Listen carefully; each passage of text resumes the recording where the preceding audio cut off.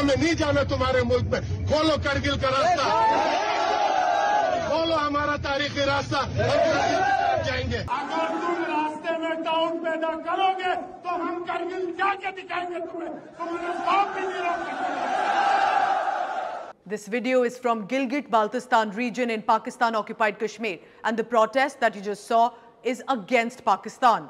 Various news reports surfacing on social media have stated that the local residents gathered in large numbers in Skardu to express anger and demand the release of a Shia leader Aga Bakir Hussaini who had been taken into custody by the security forces. During the protests, they also said there will be a civil war and they will want to head to Kargil, which is in India. This is basically the people of Gilgit-Baltistan hinting at a merger that they are interested in with India. In this video, I'm not talking simply about Pakistan, but a reflection of how one country till 1947 is today two polar opposite world. Remember, Pakistan had spread terrorism in the Kashmir Valley for over three decades, but now there is a Miss World gathering being organized in peace in Srinagar. And I hope, with fingers crossed, that may this peace prevail in Kashmir Valley. While Pakistan, however, is now getting a taste of its own medicine, the discord spreading to its occupied areas, importantly of citizens aiming to move toward the historical belt and of the region that connects them to India. The Shia leader's remarks in Skardu sparked a controversy. Blasphemy was claimed. Sunni majority areas in Pakistan erupted in counter-aggressive protests. And this is not the first time. In January itself this year, inhabitants of Gilgit-Baltistan region protested and that was clearly reported by India Today and a lot of other newspapers. Gilgit-Baltistan demanding for their constitutional rights. Since 2018, after promulgating the Gilgit-Baltistan Order 2018, which replaced the Gilgit-Baltistan Empowerment and Self-Governance Order of 2009, massive protests have been breaking out in the Gilgit-Baltistan region. Rallies organized demanding constitutional rights for their region. Now it is turning fierce due to increased interference from Islamabad. From restoration of subsidies on wheat and other food items, load shedding, illegal land grabbing, exploitation of natural resources of the region that have been raised as demands by the residents. The military establishment of Pakistan continues to exert coercive claims over the land and the resources in Gilgit-Baltistan region. Now, this is not the first demand coming from inside Pakistan's occupied areas from oppressed minorities asking for India's help and assistance. Hindu minorities flee to India. Already thousands of Hindu Pakistanis have been fleeing to India after facing persecution of the community. From Sindh region specifically, abductions, conversions. Every week there is a news about forced marriage of some young Hindu or a Christian girl who's married off to an older Muslim man. The horror systematic oppression of the minority community girls. Some Hindu girls are as young as 12 to 13 years of age, but are falsely shown as 18 on the nikah and conversion certificates. Most of these children have never even been able to meet their parents ever again in Pakistan. Remember, this is a collective annihilation of the remaining Hindu community in Pakistan.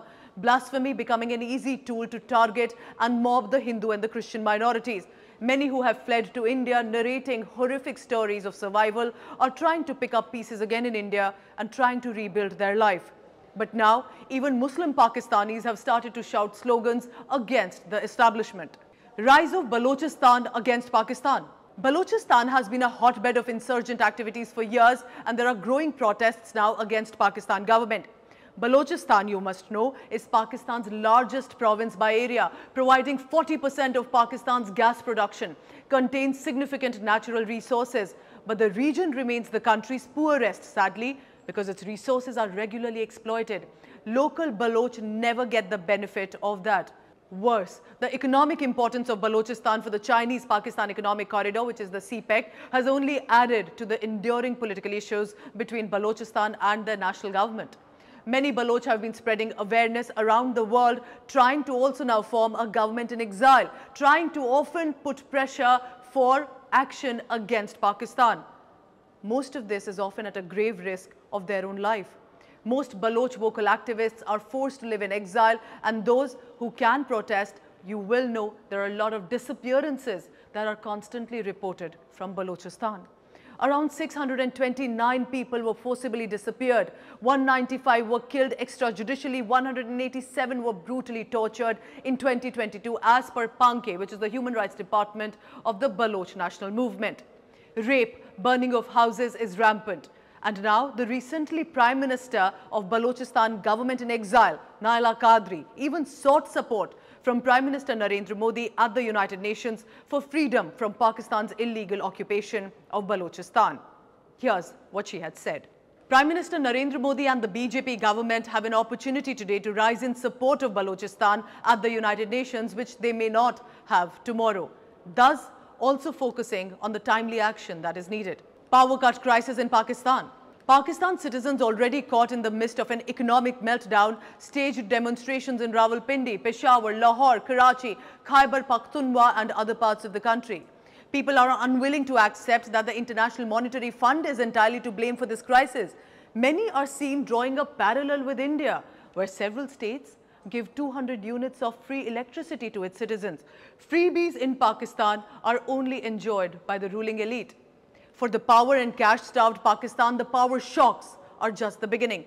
Young university students, protesters, have even mocked their government with posters saying, India has conquered the moon. Pakistan is unable to even provide basic electricity and fuel to the public at large. Let me give you an example. In Pakistan, electricity now costs about 50 Pakistan rupees per unit. Compare that to India, where it is 6 rupees that's it, per unit, which is about, in Pakistan currency, about 14 PKR, even still so low. The food shortage in Pakistan is humongous. Enough visuals of food shortage, stampede, gunfire. Chaos is ruling Pakistan as they reel under inflation crisis. If Indian, for example, is paying, let's say, about 30 to 40 rupees maximum per kilogram for onions, Pakistanis have to pay 80 to 90 rupees, which is 200 PKR. So even double of what the Indians are currently paying. Let's talk about Pakistan's debt. They're short of foreign exchange. They're facing difficulties in covering one month's worth of exports. Reuters reported that Pakistan needs about $22 billion to fund the external payment obligations that it has, and a lot of debt likely coming from China. Pakistan may be asking the world and the International Monetary Fund for assistance today while its citizens are asking India for help. It's a moment to ponder upon. Thank you for watching. This is for you to understand that despite a lot of problems still and clearly in India, how we are compared to Pakistan. And that comparison is significant to remember because it was one country at a time and over 75 years later, you can see the difference. But that's all from me. Stay tuned because coming up next, a special segment with Jessica Goyal. Will we have one nation, one election, uniform civil code or a women's reservation bill? We don't know that for now, but speculation is rife as the government has called for a special session between September 18 and 22 right after the G20 summit. But how is the session of India's parliament called? The Indian parliament consists of the president and the two houses, the Rajya Sabha and the Lok Sabha. The president, while being a constituent part of the parliament, does not participate in the discussions of either houses. However, the president has constitutional authority to summon and discontinue the two houses of the parliament. The power to convene a session of the parliament lies with the government. This decision is made by the cabinet committee on parliamentary affairs, which is then formalized by the president who summons the MPs for a session. India does not have a fixed parliamentary calendar. Traditionally, parliament meets for three sessions in a year, the budget session, monsoon session and the winter session. The constitution under Article 85 mandates that parliament should meet at least twice a year and the gap between two sessions should not be exceeding six months. Now, there have been special sessions called in before this too. In August 1992, parliament met for the first time after a midnight special session to mark the 50th anniversary of the Quit India or Bharat Chodo movement. A special session of the parliament was called from 26 August to 1 September 1997 on the occasion of the Golden Jubilee of India's independence. On 26 November 2015, a special session was held to celebrate the 125th birth anniversary of Dr. B.R. Ambedkar. The session aimed at honoring his invaluable contribution in drafting the Indian Constitution. On June 30, 2017, at a glittering special midnight session of the Parliament, Prime Minister Narendra Modi led India to its biggest indirect tax reforms, the GST. And now, only weeks after a heated monsoon session, we are in for a special session. With no specific agenda, only time can tell what it will entail. That's all that we have for today. Thank you for watching. For more informative videos like this, keep watching India Today Newsmo.